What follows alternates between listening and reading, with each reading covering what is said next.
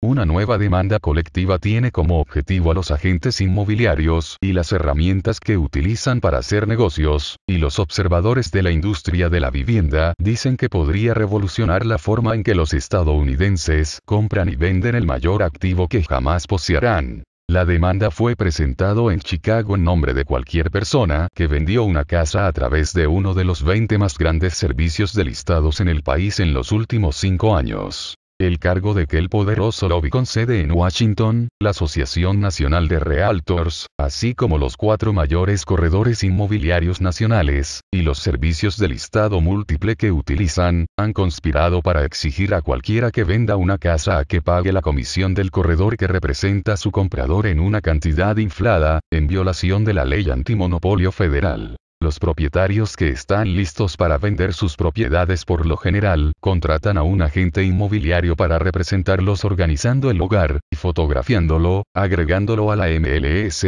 comercializándolo y mostrándolo a los posibles compradores. Los vendedores acuerdan pagarle a esa persona una comisión sobre el precio de venta de la vivienda. Esa comisión ha sido tradicionalmente conocida como el 6%, pero es un poco más complicada que eso. Los vendedores realmente solo pueden negociar con el agente que han contratado, mientras que los agentes que representan a los compradores generalmente están asegurados de una comisión estándar del 3%. Eso significa que el agente de un vendedor está dispuesto a negociar, o uno que trabaja para un corretaje de descuento como Redfin, pagará menos que a un agente del comprador. Los compradores pueden optar por ser representado por un agente, o ir sin uno pero en cualquier caso, todo el dinero de la comisión para ambos lados de la transacción siempre es pagado por el vendedor, gracias a una regla de 1996 NAR conocida como la regla de la comisión del agente del comprador